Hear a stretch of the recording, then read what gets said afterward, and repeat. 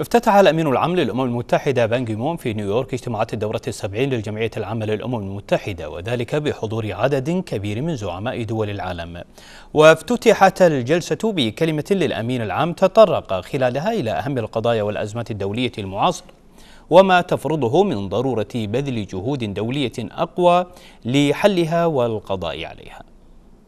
افتتح الأمين العام للأمم المتحدة بان كيمون وبحضور ممثل سمو أمير البلاد الشيخ صباح الأحمد الجابر الصباح حفظه الله ورعاه سمو الشيخ جابر المبارك الحمد الصباح رئيس مجلس الوزراء. الجلسة الافتتاحية لاجتماعات الدورة السبعين للجمعية العامة للأمم المتحدة. كلمة الكويت في المناقشات العامة راح تكون يوم 29 راح يلقيها سمو الرئيس. وطبعا وأهمية هالدورة هذه الدورة 70 أنها ذكرى مرور 70 عاما على إنشاء الأمم المتحدة فراح تكون في نقاشات مكثفة حول ما تحقق من إنجازات حول الإخفاقات اللي حصلت خلال فترة السبعين وفي مراجعة وتقييم لهالقضايا هذه وشلون إحنا نعالج القصور اللي حصل ونحط خارطة طريق إلى للأمم المتحدة للسنوات القادمة. وناشد الأمين العام للأمم المتحدة بان كيمون في كلمة الافتتاح للدورة السبعين للجمعية العامة للأمم المتحدة جميع دول العالم إلى الاتحاد من أجل حل مختلف الأزمات وتقديم الدعم اللازم لمساعدة الشعوب المنكوبة في كل من العراق وجنوب السودان واليمن وسوريا.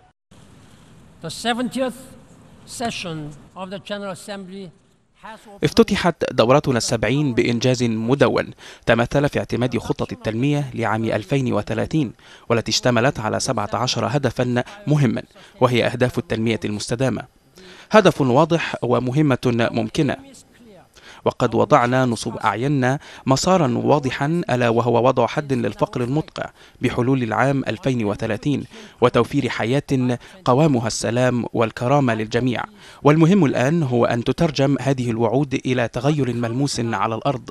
فنحن مدينون بهذا وبأكثر منه بكثير إلى المستضعفين والمضطهدين والمهجرين والمنسيين في عالمنا.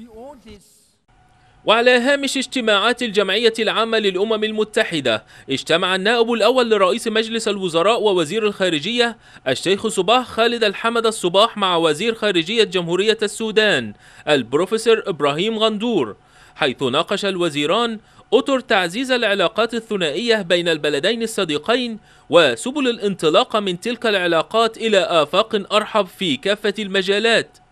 كذلك اجتمع النائب الأول لرئيس مجلس الوزراء ووزير الخارجية الشيخ صباح خالد الحمد الصباح مع وزير خارجية جمهورية العراق الشقيق الدكتور إبراهيم الجعفري حيث أكد الشيخ صباح الخالد على حرص دولة الكويت على دعم الأمن والاستقرار في العراق والحفاظ على وحدته وسلامة أراضيه. كما تم بحث سبل توطيد العلاقات الثنائية بين البلدين الشقيقين في كافة المجالات بالإضافة إلى القضايا ذات الاهتمام المشترك.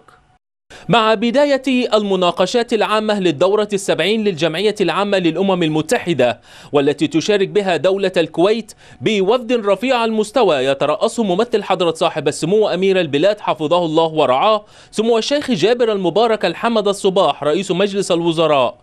يؤكد زعماء دول العالم في كلماتهم على التزامهم بأهداف التنمية المستدامة حتى عام 2030 والتي تهدف إلى القضاء على الفقر وتحسين حياة الناس في مختلف أنحاء العالم.